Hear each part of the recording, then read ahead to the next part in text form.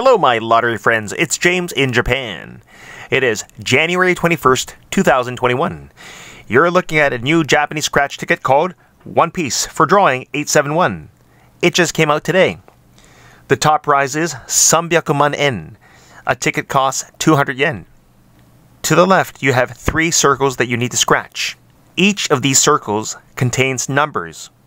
The sum of the numbers must be at least 200 in order to win the last prize, Goto Nihakuen. So the higher the sum, the more you get. So if your sum is 220, you win Yonto, that is Sen En. If your sum is 250, that is Santo, you win Ichiman En.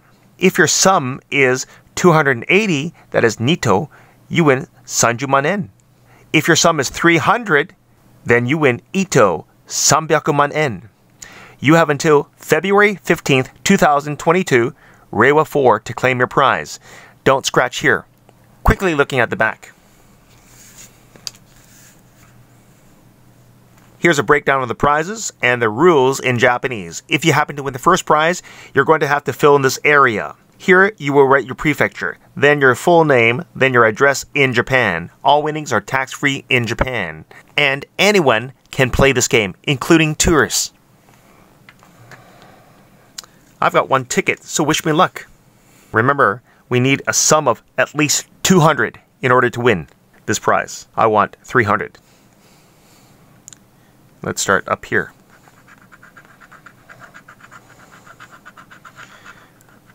One hundred.